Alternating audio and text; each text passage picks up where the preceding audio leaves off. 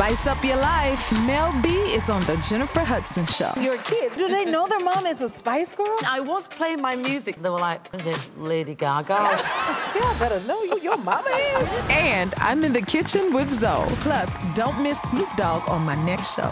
Thursday at 10 on WBNX.